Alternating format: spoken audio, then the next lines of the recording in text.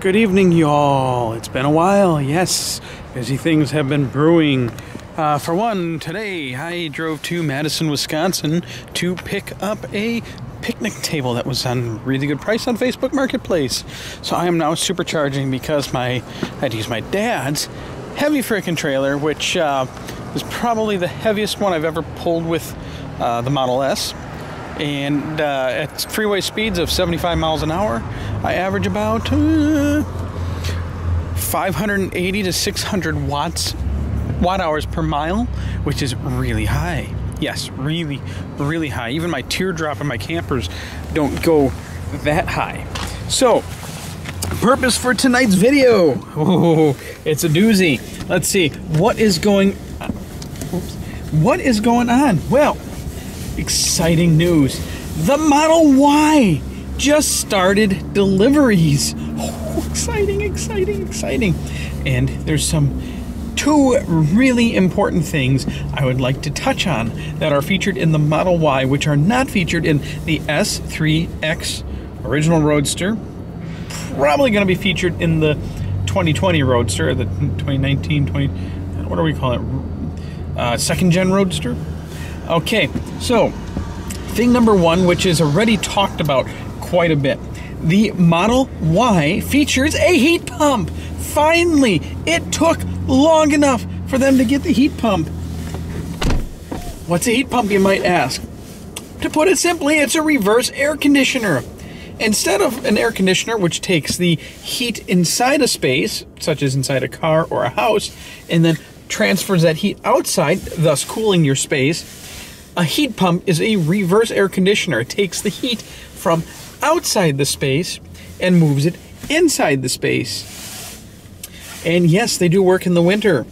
Uh, what is so great about this? Well, they are very efficient. Very efficient.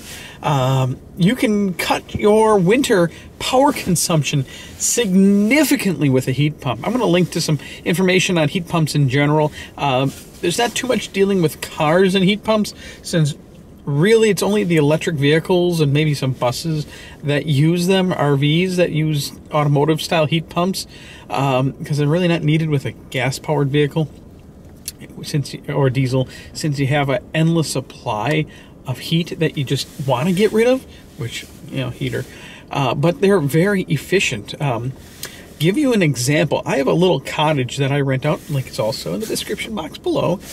That's what I've been doing. So busy doing is I'm trying to build a little more nest egg empire, especially now that I have my baby Mina.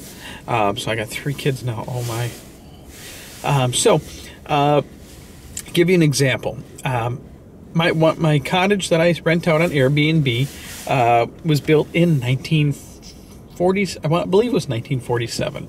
It has no natural gas service, uh, which in Wisconsin would probably actually be the best choice if possible for heating an entire house or cottage.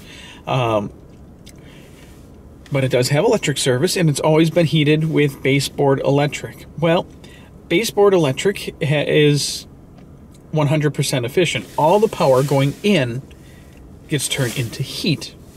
Uh, maybe there's a little line loss here or there. That well, I guess that's lost as heat too. So one to one ratio. My electric bill for that cottage is about 400 to 500 per month in the winter when it was being powered with baseboard electric. Wasn't even worth renting out because I'd basically be renting it out just to keep it warm. No. So I installed a 20 SEER heat pump. And um, this particular one uh, it's made by Chigo, and I'll, I'll, link you guys to some heat pumps. They're really cheap, um, believe it or not, if you're willing to try and install them yourself, which I installed now 10 of them, and each one's taken me about an hour and a half each to install. And uh, five, about five to 600 bucks each. Heating the house now, the, or the cottage, 100% with a heat pump is only costing me about 100 to 125 dollars a month for the entire electric bill and not just that is I keep it at 70 degrees Fahrenheit all the time, nice and comfortable. For Wisconsinites, that's a tropical vacation or a tropical beach temperatures for us. And with the uh, the baseboards, um, I'd have to turn them down as soon as the uh, renters left those things were cranked down back down to 55, just enough to keep the pipes from freezing. If no one's in there, not going to heat the place up to full full temperature. So that's how much of a cost savings in terms of monetary wise and electricity wise. And I'm seeing heat pumps as high as 30 to 32 SEER. Of course, prices go sky high when you start getting that efficient. Um, but as just a rough example, uh, my 20 SEER heat pump, which actually is uh, for heating, that's for air conditioning. For heating, it's HSPF. Uh, heating seasonal performance factor um, is actually like a, a 10, uh, which is excellent for a heat pump uh, on the heating end of things. And uh, uh, that uses about about 1200 watt continuous if it's on max power to heat an entire 850 square foot house that was built in the 1940s uh, with has insulation about as best as I could get into the walls um, for the age house that it is. So it is it's an old and drafty house. Uh, basically, the S3 and the X use resistive heater, which is like a baseboard electric heat, and I gotta cut this short because I'm rambling on. Uh, and it's one to one efficiency. Whereas the Model Y with a heat pump, you're talking about 300 to maybe 500% efficiency, depending on outside temperature. Uh, the colder it gets outside, the less efficient it's going to get. Um, the warmer it is outside, the more efficient it will be. Um, also, depending on how much they spent on the system, you know, whatever the HSPF is on it, uh, which is going to be great. So, in the wintertime, your main range hit for driving is going to be heat, heating the cabin. So, that is going to be uh, basically it's going to be the same power consumption in the wintertime heating the cabin as it is in the summertime to cool it, uh, which for my Model S, the actual air conditioning is very efficient and uh, keeps me freezing, even especially on full power, and um, and it works great and very low power consumption. The other thing I want to talk about is and it doesn't seem like too many people are actually talking and discussing this. The Model Y has a battery pack heater. Yay! Now, the S and the X have battery pack heaters, but for some reason, Tesla decided to get rid of that nice, cheap little battery pack heater that works so well and very proven, and instead, um, well, they got rid of that and instead used something like a uh, the waste heat from the motors, the motor or motors, um, and when you're parked, um, it puts the motors into a stall so that way they generate heat without actually turning. Uh, not a very efficient way of generating heat, and it doesn't also also does not generate very much heat, um, and it's very slow to heat up that battery pack. The Model Y they went back to the pack heater. Awesome, great.